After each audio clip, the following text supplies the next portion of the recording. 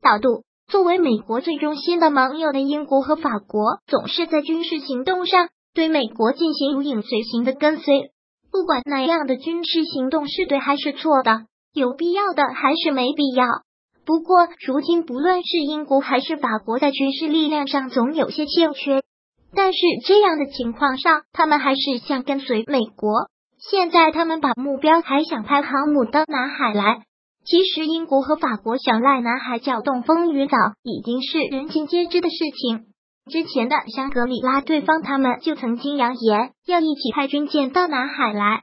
不过，这时也只是放在嘴里而已。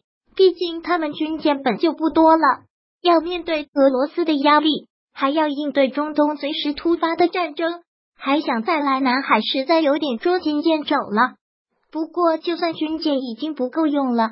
他们还是在想办法硬撑面子，也要到南海来转转。据悉，英国计划将其目前最大的航空母舰“伊丽莎白女王号”派遣到太平洋。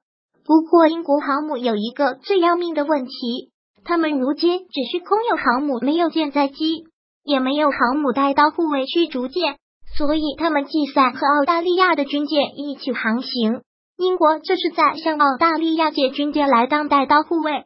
想当年日不落帝国的英国海军，如今也要走了靠别国的军舰来进行护卫工作了，这是悲剧还是死要面子？至于澳大利亚，更不用说了。现在的澳大利亚已经成为处处和中国作对的存在，难得有这样的机会，他肯定不会放过了。